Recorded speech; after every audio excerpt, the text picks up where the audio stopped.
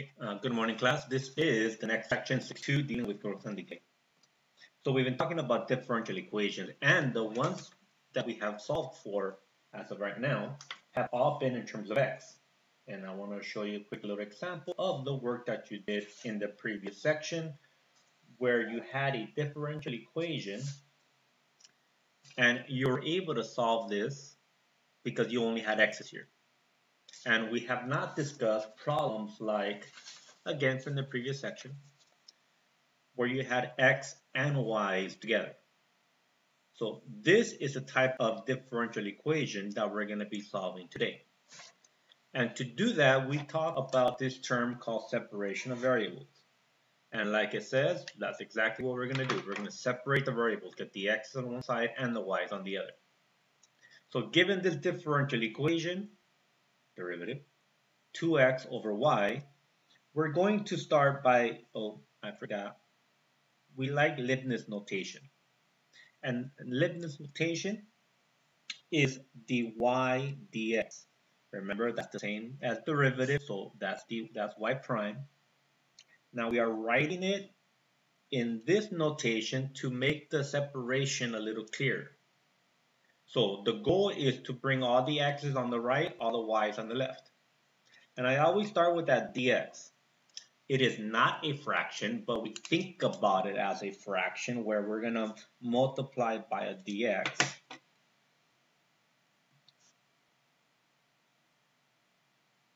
So that I'll be able to integrate on this side with the dx. Now the y here, I want to move it to the left. So I can multiply by y. And separation of variables is when you have y dy equal 2x dx. x is on one side, y is on the other. We're able to separate the variables. Now, with the separation of variables, then I'm able to integrate, and I integrate both sides of my equation I could zoom in a little bit. And when I integrate here y dy, I get 1 half y squared, it is a power rule, add and divide, equal another power rule, add and divide, which is simply x squared. Now, I know I'm forgetting something, and I'm forgetting something on purpose, and I wish I was in class so I could pick on people, but I'm not, so I hope you realize that whenever you integrate, you must introduce a constant of integration. As a matter of fact, I integrated on this side as well. And when I integrate on this side, I'm actually going to introduce a constant over here as well. Now, we don't write this constant on the left because I'm going to ask you to move it to the right. And if, and if I subtract this constant to the other side, well, what happens is that I have a constant minus a constant, and a constant minus a constant is some other constant.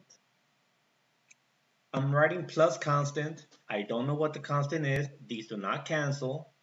But I want to see, I want to make sure that you see that technically we have two constants. But because we're always going to move this one to the right, we kind of not even worry about that one. And there's my integration. So I'm going to move a little bit to the side. There's a couple more things I want to talk about on this problem.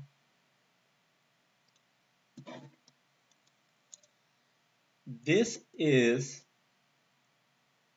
what is referred to as a general solution. And we call that a general solution because I don't know what that constant is. There's a way to find that constant and we're going to talk a little bit more about that later. Now, how we solve or how we leave this uh, general solution is depending on the book. I will tell you that most of the times they clear the fraction. So multiply everything by 2. And that's what I'm doing. I am multiplying everything by 2. And I'm multiplying everything by 2. And that is the general solution. I guess I could take the square root to solve for the y, but I'll leave it like that. So the differential equation that has both x's and y's, we need to separate the variables and then integrate both sides. Okay. Next thing, growth and decay models. As I read this, the rate of change of a variable y, that first part of the sentence tells me a rate, which means derivative. That tells me this, that I have a derivative of y with respect to t, time by the way, is, is an equal sign, proportional to the value y. Proportional introduces a constant. In this case, we're going to use k that constant is, is called the constant of integration. We're going to talk about how to find that k and what that k means to the value of y. So you'll be given this sentence most of the time and we're able to write this differential equation. Now, because it is a differential equation, you can solve that differential equation. Going to ask you to separate variables and integrate both sides and solve for the y and blah, blah, blah. But this differential equation will have this as a solution. Every differential equation in that form will have the solution in that form. y equal ce to the kt. And this solution well, there's a lot of things happening there. The C value is the initial amount of whatever stuff we're talking about. We're going to do some word problem and talk about what that means. And then whenever you hear initial amount, oops, initial amount of the y, whatever that y is, I want to remind you that whenever you hear the word initial, we're talking about time equal zero. The K, well, first the T. The T is time. The K is the important part here. The K is a constant. And knowing that is a constant, if I'm able to find the k value, and the k value is some positive number, that tells me that this, this is dealing with exponential growth.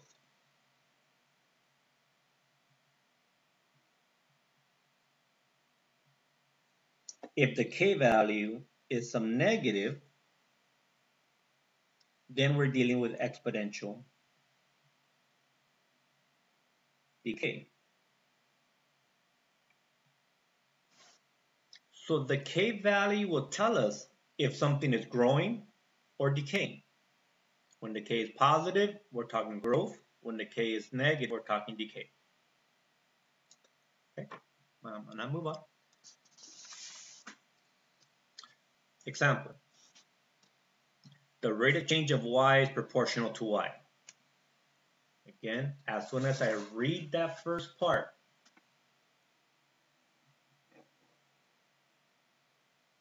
I know that the differential equation is k times some value y. The rate of change of y is proportional, the constant, to y. And they gave me other information here. When t is 0, y is 2. When t is 2, y is 4. What is the value of y when t is 3? So we'll deal with that right now. But if I know this, well, I'm not going to ask you to separate variables and integrate. I already know what the solution will look like. The solution will have the form of y equal CE to the KT. I know that's the solution of that differential equation. And knowing that that is the solution, we're going to ask you to find C and find the K. And to find the C, to find the K, that's where all this other information comes in. So I am given that T is 0 when Y is 2. That is an ordered pair. And when I write the ordered pair, I'm talking T, comma, Y. Time is 0, the value is 2. I also know another ordered pair. When time is 2, the y value is 4. And they're asking me to find, let me write down here the, what we're looking for. Find the value of y when t is equal to 3. When t is equal to 3, we need to figure out that y value. And in order to find that y value, well, we'll talk about finding the c and the k. So I'm going to use these ordered pairs to find the c and the k. Start off with that one. y equal ce to the kt. So I know that the y value is 2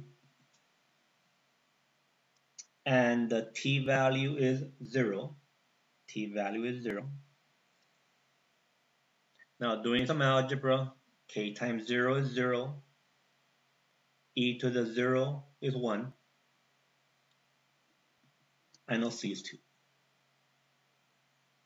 So once I know the c is 2, let me jump over to my next ordered pair, and I'm going to use that c value and this, remember this is t comma y, and now be able to find the k. So I start off with y equal the c value. Oops, what is my y? I already know my y value is 4. Let change that to 4.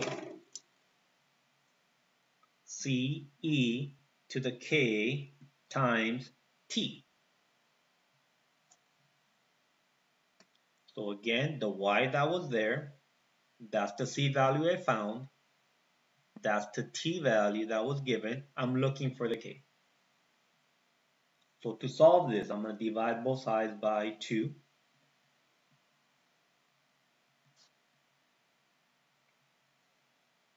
Some algebra. Whenever I have a power, an exponential equation, there's the E. And I want to solve for that K up there. I will take the natural log of both sides and I'm taking the natural log of both sides because here, natural log of e to the 2k will give me 2k. Here I have a natural log of 2. Well, I'll deal with that in a bit. I do need to finish solving that, so I'm going to divide by 2. And I will get the k value. Now at this point, you're going to take out your handy dandy calculator or your phone, I know. So I have the natural log of 2, and I have to divide that by 2. I'm getting my constant to be 0.34657, blah, blah, blah.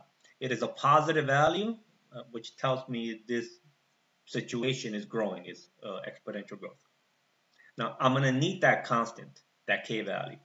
So before I go to my paper, I'm going to ask you to store it and you could put it anywhere you want, but I'm going to put it in K because that's K.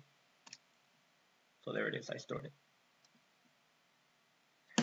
So on my paper, I will write the decimal approximation, but I do have it saved in my calculator. So now, I found the C, I found the K, I can write the equation or the solution is going to look like this. y equal, that was the c value, remember we found the c, e to the k value times t. Now, we usually ask you to write this solution. The decimal, go 3, go 4, that's fine. But we really are asking you to find the y value. And to find the y value, I'm going to substitute in the 3 for the t. I'm just going to plug in a 3 right there. And you know what? I have it in my calculator, so it's going to be 3 times my k value. And when I use my calculator, let me set this up here. I'm going to approximate.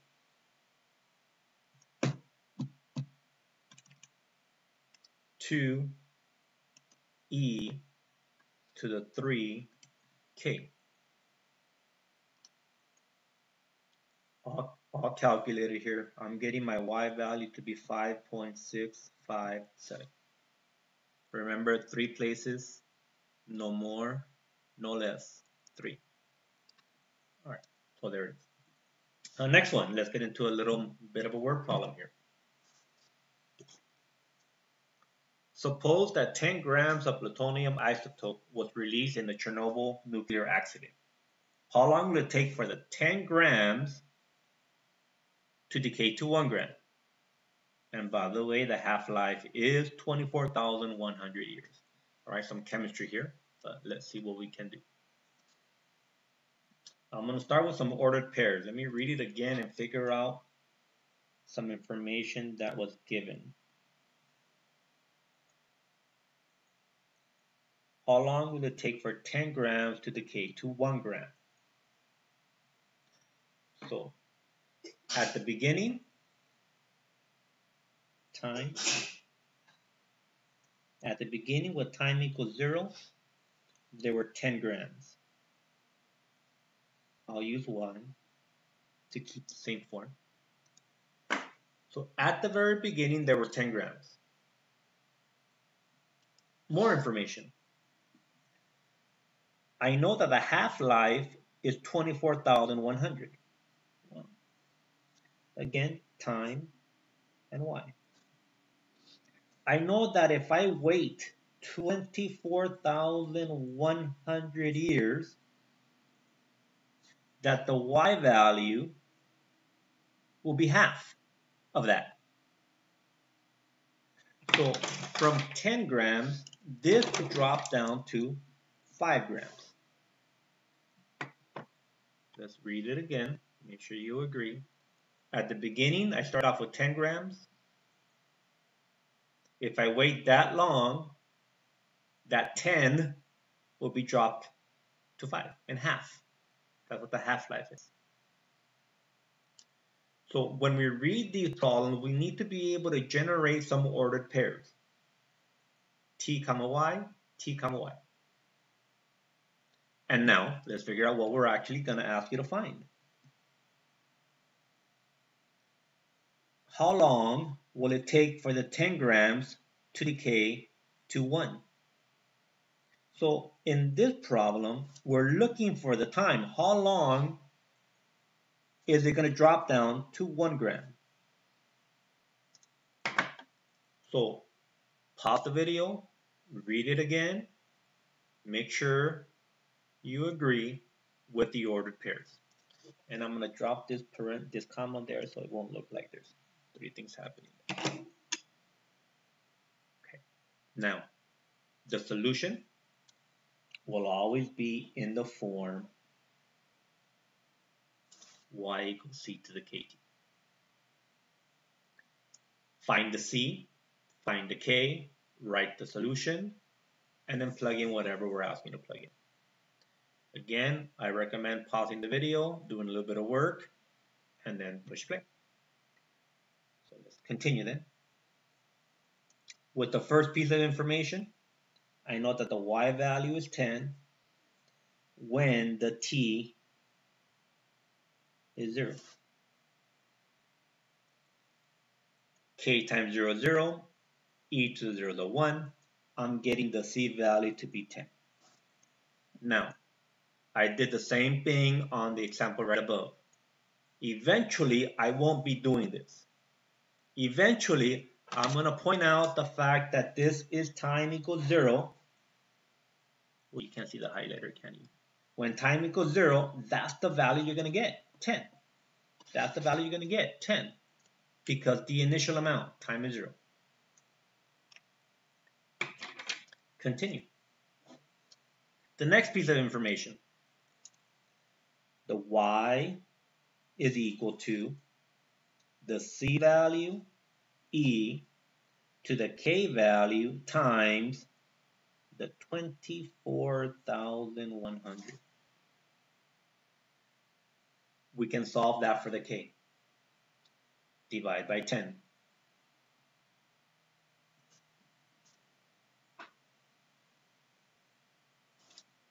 I will need to take the natural log of both sides.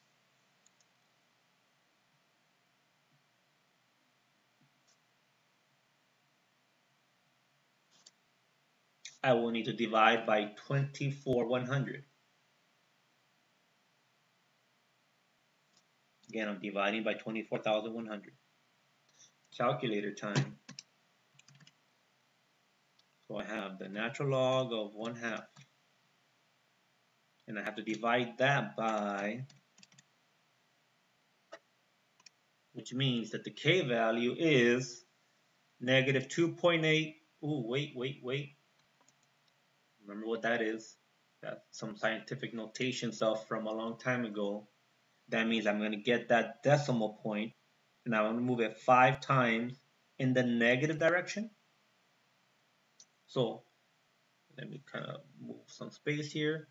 So I'm going to get that decimal and I'm going to go this way. One, two, three, four, five, somewhere over here. And as I get negative 0 point. I gotta make sure I count my zeros here.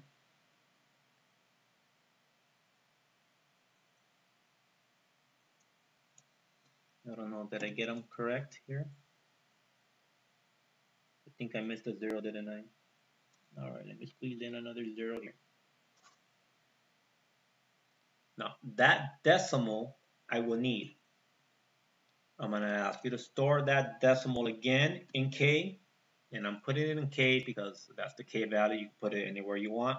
Just keep track of it. All right. Moving on. Now, I found the K and the C. Maybe I should write down my equation here. Y equals C E well, I don't want to write that decimal, so I write KT. Remember, I have that stored in my calculator. To solve for the T, I know the Y value is a 1.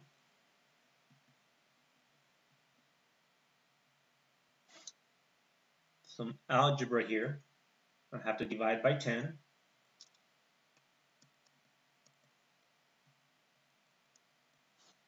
I'm taking the natural log of both sides that would bring that kt down and I have to divide by kt so eventually my t will end up being the natural log of 1 over 10 and I have to divide that by my k value. Remember that is stored in my calculator. So pop that into your calculator and we'll find out that those 10 grams natural log of 1 tenth. Divide that by my K value. That'll take those 10 grams to drop down to 1 gram. It'll take 80,000 and we'll go 59 years. That's how long it's going to take for, for that 10 grams to drop down to 1 gram. Okay. I'm going to move on. We have a couple more examples to do and I'll probably do one more. Example number four.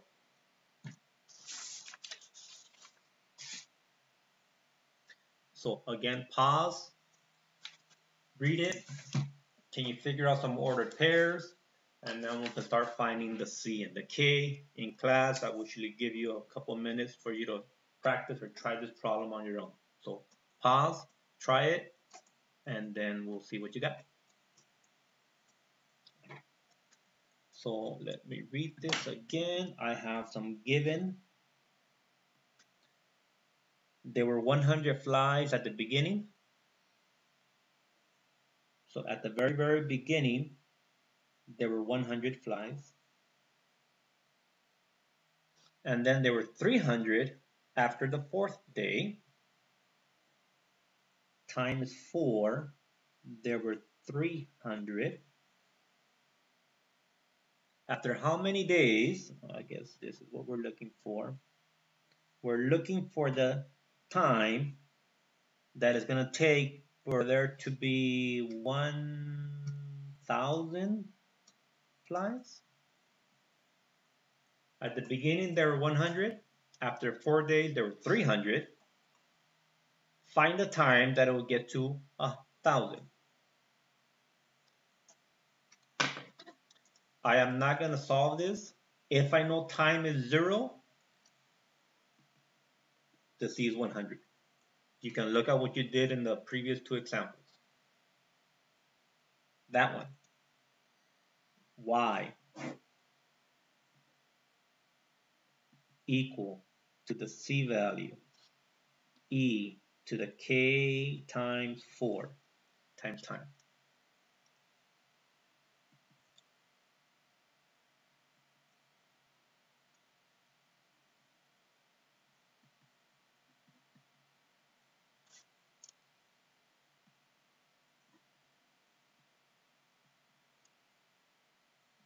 I'm getting my K value.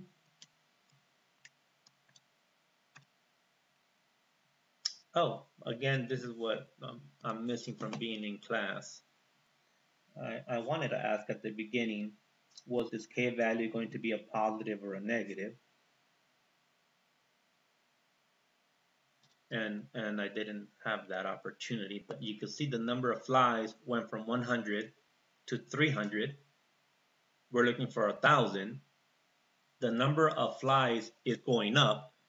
And if I know ahead of time that the number of flies are going up, I should be getting a positive value for my K. And that's one way we can see if we're doing this correctly. The K value should be positive and, and that's what we got. So again, I'm going to store this in my K. And then I move on y equal to the c value kt. I am not writing that decimal there, but there should be a decimal there. Plug in a thousand for your y.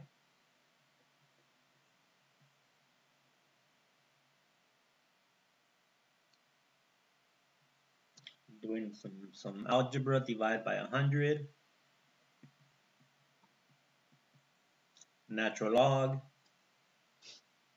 divide by k, and natural log, divided by the k value, and the t, it'll take, it'll take 8.384, but again, please make sure that you verify that yourself, and that's what I'm getting.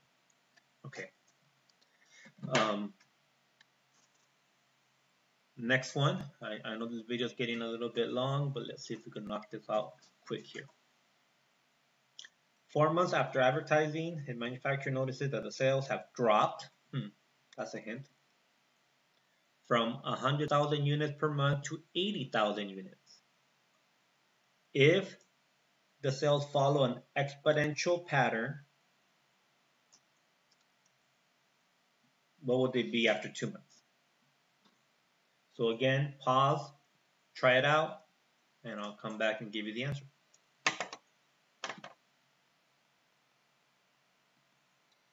Given, um, because it went from 100,000 to 80,000, at the beginning, there were 100,000 units per month. At the beginning, there was that much. And it dropped from that much to 80,000. Now, the time here, let me read it again. It went from, oh, how long did it drop? Four months. I missed that at the beginning. It took that long to drop to 80,000. How long will it take to go to, well, let me go over here, what we're asking you to find is that after two, another two months, so this is not two, we're going to go another two. From here, we're going to go another two. That should be six. Read it carefully. What would it be after another two months? So from those four months, moving on to six. Right. I want you to try it yourself. I will give you the answer that this Y should actually be 71,554 units. I'm not going to show you my work. That should be the answer. If you got stuck, let me know and I'll work them out for you. All right, so homework again.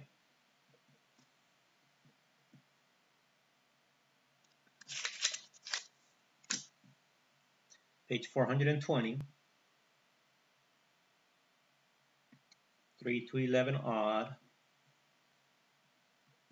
21 to 25 odd. 29 37 odd and then some some here a little bit. Some interesting ones down here 51 53 57 if you have any questions let me know and I hope to speak to you tomorrow or later today